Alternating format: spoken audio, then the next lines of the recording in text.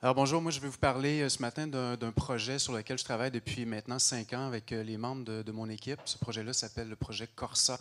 Euh, Corsa en suédois, ça veut dire franchir, ça veut dire traverser. Donc Corsa, ce sont des ateliers qui sont offerts aux étudiants du Cégep, aux étudiants de l'université pour les aider à franchir, traverser leurs études avec, j'ai envie de dire, un peu plus de sérénité. Merci. Donc, vous le savez peut-être, euh, il y a environ euh, le tiers des étudiants postsecondaires qui euh, luttent avec de la détresse psychologique. Donc, des étudiants qui font face à de l'anxiété, la dépression, de l'épuisement, du stress. Ce n'est pas un problème qui est, nouveau, c'est un problème qu'on connaît depuis un certain temps déjà. par contre, il y a dans la littérature, il y a sur le terrain des, des signes inquiétants qui euh, tendent à croire que euh, la prévalence augmente. Si vous parlez euh, avec des gens qui sont dans les, les cégeps, les universités, souvent ils vont vous dire ben, on a l'impression que les cas s'alourdissent, que de plus en plus d'étudiants qui, qui vivent un, mal-être. Donc, et, puis, ben, on sait que la détresse qui est vécue par un étudiant va avoir un paquet d'incidents, j'ai envie de dire, sur, sur son, rendement, son rendement académique. Donc, il y a euh, de plus en plus d'associations euh, qui vont euh, recommander de mettre en place dans les institutions des, des, interventions pour essayer de prévenir justement ces problèmes de, de détresse, de détresse psychologique. Donc c'est un petit peu dans, cette, dans cet esprit-là que le projet Corsa est né, c'est-à-dire qu'on a commencé à réfléchir sur ce qui pouvait être mis en place pour justement favoriser le mieux-être des des étudiants. Donc, ce que vous avez euh, à l'écran, c'est un petit peu la, chronologie du, euh, du, projet. Donc, on a commencé à élaborer un protocole d'intervention euh, en 1900, en 1900, en 2012. ça fait longtemps qu'on y pense. on a commencé à élaborer ce, protocole avec des gens dans, dans les milieux, donc des, des psychologues, des conseillers d'orientation qui travaillent dans dans les cégeps, dans les universités. Vous savez peut-être qu'au Canada, euh, les cégeps et les universités ont des, ce qu'on appelle des, services de, counseling ou des services d'aide à la vie euh, étudiante. Donc, vont travailler dans ces milieux-là des, psychologues, justement, des, euh, des professionnels en, relation d'aide. Donc, c'est avec eux qu'on a commencé à élaborer un premier protocole. On a lancé une étude pilote à l'hiver 2013 pour tester, en quelque sorte, ce, ce protocole. on suivi deux études dont je veux rapidement vous parler. Euh, ce matin. On a revu de manière, euh, j'ai envie de dire, importante le, protocole en 2015 à partir du, feedback qu'on avait reçu euh, des, des, étudiants. Et on a mis aussi en place un système de, formation pyramidale, ce qui veut dire qu'on a commencé à former des gens dans les milieux pour qu'eux-mêmes puissent donner les ateliers Corsa. Et euh, on a aussi euh, lancé euh, une, troisième étude dont je vous, parlerai rapidement pour essayer de comprendre qu'est-ce qui favorise l'implantation de ces, ateliers-là. Donc, rapidement, à quoi ressemblent ces, ateliers? Donc, il faut savoir que c'est cinq ateliers de 2h, 2h30. Donc, on parle d'environ 10 heures de, formation qui vont être offerts aux, aux étudiants. Euh, c'est offert dans des groupes de, 8 à 15 euh, étudiants. Donc, concrètement, ces gens-là vont être assis euh, en cercle. On va leur proposer différents exercices. Ce sont essentiellement des exercices expérientiels. Donc, on leur propose des trucs, on fait des, activités et par la suite, on va, on va en discuter, on va en profiter pour passer certains, certains concepts. Donc, il y a des exercices de, visualisation, il y a des exercices plus contemplatifs, c'est-à-dire des, exercices de méditation. Euh, on va aussi encourager les étudiants à faire des, euh, j'ai envie de dire, des push-ups entre chacun des, euh, des, ateliers, donc de faire des exercices à la maison, pratiquer le body scan, par exemple, le, scan corporel. Donc, il y a des, des, capsules psychoéducatives, des grilles d'observation. Donc, ça vous donne une petite idée de ce à quoi peut ressembler ces, ces ateliers Corsa les, assises théoriques euh, des ateliers, ben, c'est la thérapie d'acceptation et d'engagement. Euh, c'est une, approche qui a été développée vers la fin des années 90 euh, aux États-Unis. faute de temps, je ne pourrais pas rentrer dans, les détails, mais à tout le moins vous mentionner que dans, dans l'acte, donc dans la thérapie d'acceptation et d'engagement, on travaille à partir de six leviers d'intervention que vous avez à l'écran et on cherche essentiellement à emmener le participant à développer trois, trois postures donc, la, toute première, euh, la posture d'ouverture. Alors, on cherche euh, à euh, le participant à accepter ces émotions difficiles avec lesquelles il compose plutôt que de, de, de, tasser, de, contrôler, voire d'éviter ces émotions-là. On va également l'emmener à se distancer, donc d'établir une certaine distance par rapport à des, des pensées délétères. Euh, on travaille aussi euh, à, développer euh, ce qu'on appelle, nous, la présence attentive ou la pleine conscience. C'est la même chose. Donc, les emmener à être un petit peu plus conscients, attentifs à ce qui se joue non seulement à l'intérieur d'eux-mêmes, mais aussi à l'extérieur d'eux. Et finalement, on va les emmener à s'engager, donc s'engager envers des, valeurs, envers des, éléments qui sont importants pour eux et surtout poser des gestes concrets qui sont cohérent avec euh, ces valeurs-là. Donc, c'était très rapide, mais euh, c'est essentiellement les trois postures que l'on cherche à développer dans le cadre des, euh, des ateliers Corsa. les ateliers sont élaborés à partir d'un guide de, de, formateur. Donc, ce guide-là explique de manière assez détaillée comment doivent être amenés chacun des, des exercices, comment les débriefer, comment guider euh, les discussions qui, euh, qui s'en suivent. Et ben, sur le plan de, la recherche, vous vous en doutez, ça permet de standardiser d'une certaine manière comment les ateliers sont offerts d'un formateur à l'autre, mais aussi d'un milieu à l'autre. Euh, à l'heure où on se parle, les, les, ateliers sont offerts dans une quinzaine d'établissements postsecondaires au Québec, donc des cégeps, des universités. on a formé une quarantaine de, formateurs. Et euh, voilà. Ok, je veux euh, rapidement vous parler de, la toute première étude qu'on a faite pour évaluer en quelque sorte l'efficacité de ces, euh, de ces ateliers-là. C'est une. Dans le fond, ce qui nous intéressait de, savoir, c'était ben, eh, quels sont les impacts des ateliers sur le plan de la santé psychologique, mais aussi au niveau de l'engagement scolaire. Donc, on a mis en place une, étude euh, basé sur un devis de recherche répliqué euh, inversé. Euh, ça a l'air compliqué, mais ce ne l'est pas du tout. Essentiellement, ce qu'on on a formé deux groupes. Et dans la première partie du devis, notre groupe 1 jouait le rôle de groupe expérimental, alors que le groupe 2 jouait le rôle de groupe contrôle. Et à mi-parcours dans le devis, ben, on inverse essentiellement les rôles. Okay? Donc, 90 euh, euh, étudiants ont pris part à cette, euh, cette première étude. je ne vais pas vous embêter avec, avec des chiffres, mais peut-être tout simplement illustrer que cette première étude-là a montré une diminution d'indicateurs négatifs de, santé psychologique, donc diminution des, symptômes de stress, d'anxiété et de dépression, et une augmentation du bien-être et de l'engagement scolaire. Donc, ça a été des, des premiers résultats préliminaires encourageants.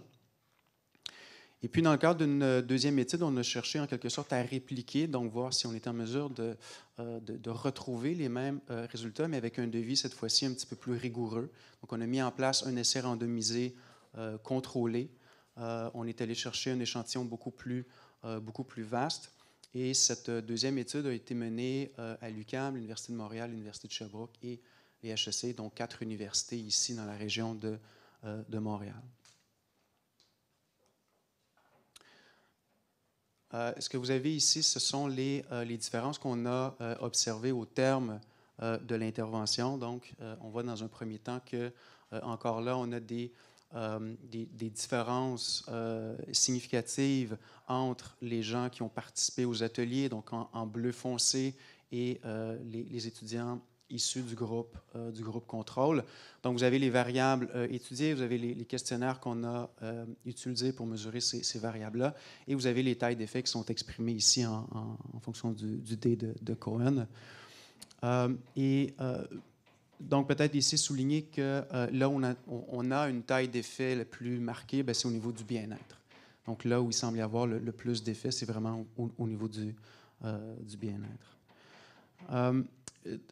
Dans le cadre de cette deuxième étude, on était aussi intéressé à savoir ben, est-ce que ces, ces effets-là sont médiatisés par la, flexibilité psychologique parce que c'est ce que suggèrent les, les tenants de l'approche d'acceptation et d'engagement.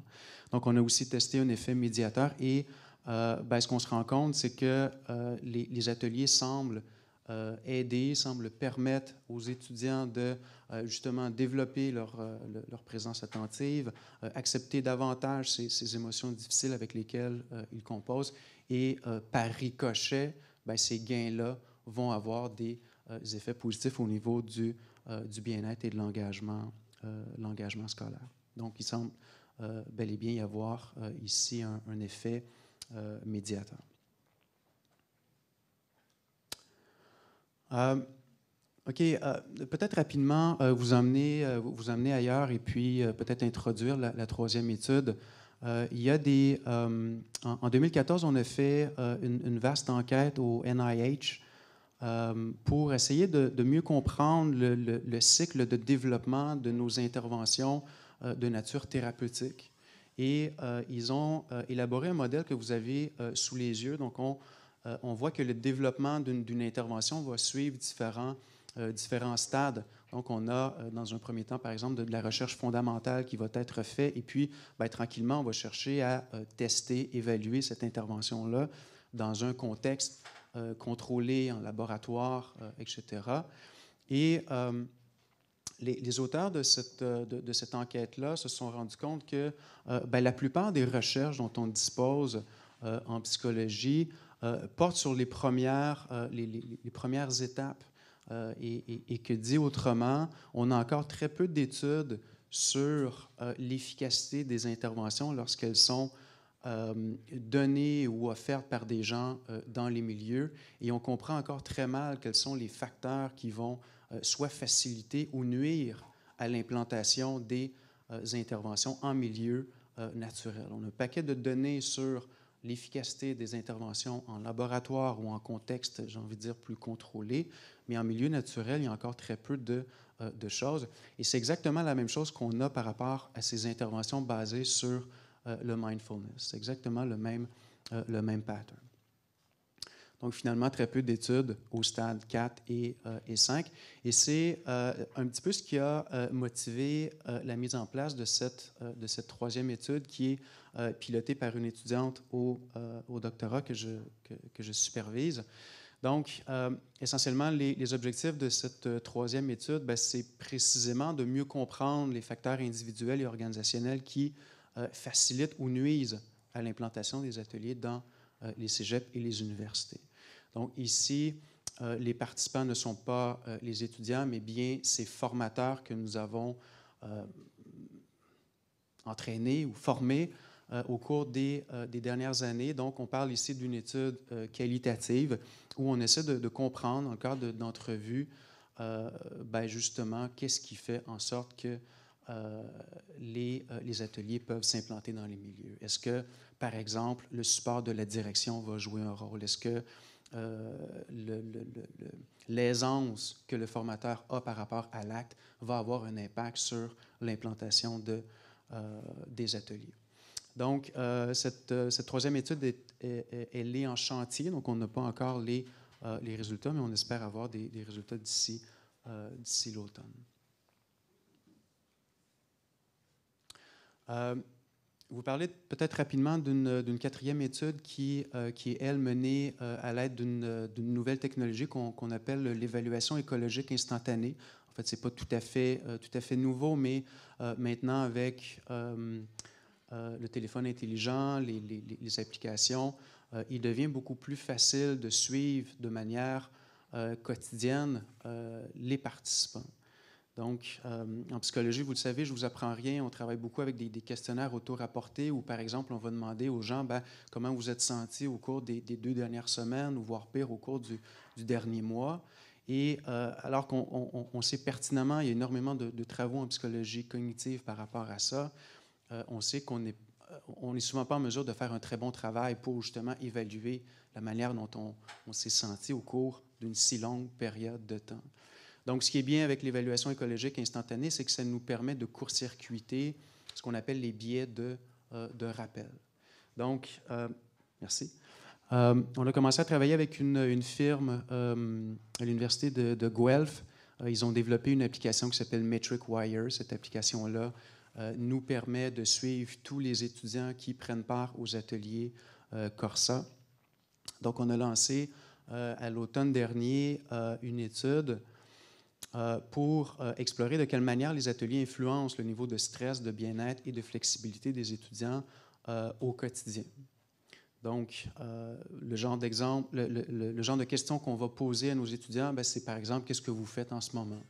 Euh, sur une échelle de 0 à 100, jusqu'à quel point vous êtes stressé? Est-ce que l'activité dans laquelle vous êtes investi en ce moment, est importante pour vous?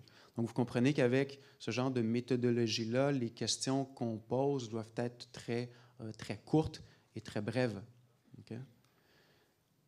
Euh, donc, ici, vous avez le, graphique d'un d'un participant. Donc, ce qui est bien, c'est qu'on peut vraiment suivre l'évolution de manière très fine euh, de différents indicateurs, notamment euh, le stress, le bien-être, la flexibilité. Donc, vous avez l'échelle euh, de stress en rouge, vous avez l'échelle de, bien-être en bleu, et en vert, c'est l'échelle de, flexibilité. Donc, ça amène beaucoup plus de, nuances dans, dans les données et ça permet d'évaluer de manière, j'ai envie de dire, un petit peu plus fine les, les, effets des, des, ateliers. Un constat qu'on a fait dans, dans, le cadre de cette étude, c'est que euh, dans le fond, lorsqu'on attrape, je veux dire comme ça, euh, les étudiants dans des moments où ils ont l'impression de faire preuve de plus de, souplesse ou de flexibilité psychologique, ils rapportent aussi euh, moins de stress et plus de bien-être. Donc pour nous, c'est un résultat qui est quand même assez, assez fascinant. Ben, pour la suite, parce qu'on manque manque de temps, euh, en ce moment, on est en train de, reviser encore le, protocole. Donc, on a fait la, semaine dernière avec euh, certains de nos formateurs euh, une séance de, brainstorming pour savoir ben, comment on peut améliorer ce protocole. Donc, on, est là-dedans cet été. il y a aussi une étude qualitative qui est, en chantier pour évaluer les bénéfices perçus par les étudiants. on veut ben, poursuivre ces, ces, études avec l'évaluation écologique instantanée et puis euh, ben, à partir de 2018, on espère pouvoir commencer à former des gens euh, en France pour que euh, les ateliers Corsa franchissent l'Atlantique. Et peut-être ajouter en terminant qu'on on, commence aussi à tester un protocole, protocole qu'on a appelé Compass parce qu'on aime bien baptiser nos, nos projets. Donc Compass, ce sont aussi des ateliers basés sur la thérapie d'acceptation et d'engagement, mais pensé pour euh, des gens qui sont en milieu de travail. Donc, on commence à tester ce, euh, ce protocole. Merci.